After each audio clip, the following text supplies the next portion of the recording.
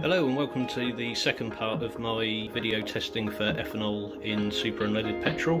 Uh, if you haven't seen my first video, uh, please check that out. That's where I'm uh, testing the ethanol content of Esso Supreme uh, super unleaded, uh, which as the results show, uh, there is no ethanol in Esso Supreme. That's bought in most counties of the UK. Uh, in this second test I'm going to take some petrol from my generator uh, which contains uh, the high octane offerings from Shell which is uh, V-Power Nitro Plus. Isn't she a beauty? She's got a full tank at the moment and as it turns out I should have actually put an ethanol free uh, petrol in here but once I've used this up I will be using Esso Supreme afterwards. I'm going to have to uh, tip a volume of fuel out of there into here so we can use it for our test. I obviously didn't want to show you my uh, attempt at uh, filling this up uh, on video, but uh, as you can see I spilled a little bit, but um, could be worse, and obviously petrol's a solvent that will soon evaporate. Hmm, reminds me of the days when I used to have to use a bedpan.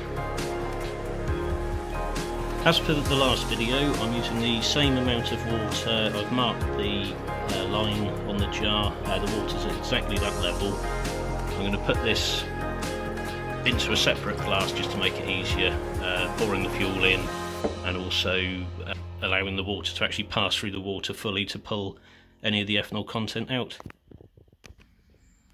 It's a similar amount of petrol as before, uh, it doesn't have to be a precisely measured amount because all we're looking for is ethanol content which just means if there is any ethanol in the petrol uh, the line of the water and ethanol mix will appear higher than the uh, line of just water itself.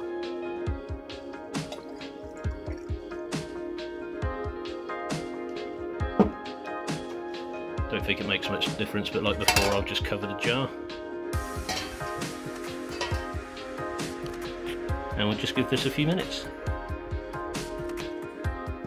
Now here's a result I wasn't expecting. It turns out the V-Power uh, super unleaded also doesn't contain any ethanol at all. As you can see the line uh, matches exactly where the uh, level of water only was initially.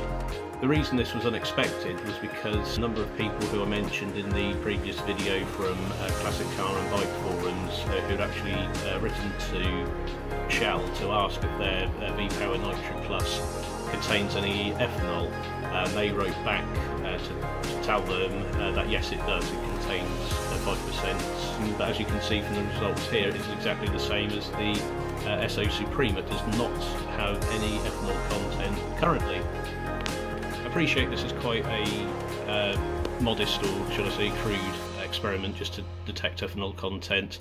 Uh, however, the only thing I could have, I've, I've washed out uh, the containers with water, so if anything, the line would read higher if I've mucked anything up. But of course, I did, I did dry glasses out before I, I changed the petrol. So ultimately, this is a great result. It also means that you can use super unleaded from a Shell in your classic vehicles.